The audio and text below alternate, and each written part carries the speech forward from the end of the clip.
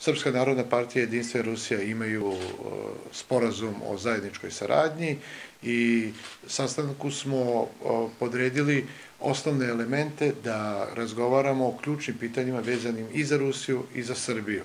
E, čestitali smo Rusiji na jedinstve Rusiji na pobedi na prošlim izborima i zahvalili se za veliku podršku koju su nam okazali po pitanju pokušaja da se Srbija proglasi genocidnim narodom u jedinim nacijama i pokušaja da lažna država Kosovo postane član UNESCO-a.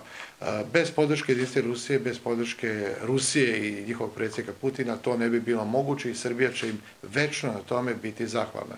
Naravno, razgovarali smo i o pitanjima bezbednosti, o pitanjima regionalne saradnje i ono što je najvažnije, imamo potpuno isto mišljenje da Srbija treba i mora da ostane vojno neutralna država, kao i zemlje Balkanskog regiona. E, spomenuli smo i pitanje e, internacionalizacije položaja e, Srba u Crnoj Gori koji su izloženi identitetskom genocidu. Ja sam izneo konkretne probleme koji postoje u Crnoj Gori, koje Srbi imaju u Crnoj Gori i taj, o tim problemima ćemo govoriti i na drugim sastancima. Ono što bih hteo da kažem da smo zaključili i e, uvereni smo u to da potencijali za ekonomsku saradnju Srbije i Rusije su ogromni. E, Rusija nam je otvorila svoje tržište, Srbija je jedina zemlja u svetu koja nema carine za izvoz svega što se proizvede ovde na teritoriji Srbije i odmah u startu smo konkurentni od svih drugih evropskih proizvođača 20%.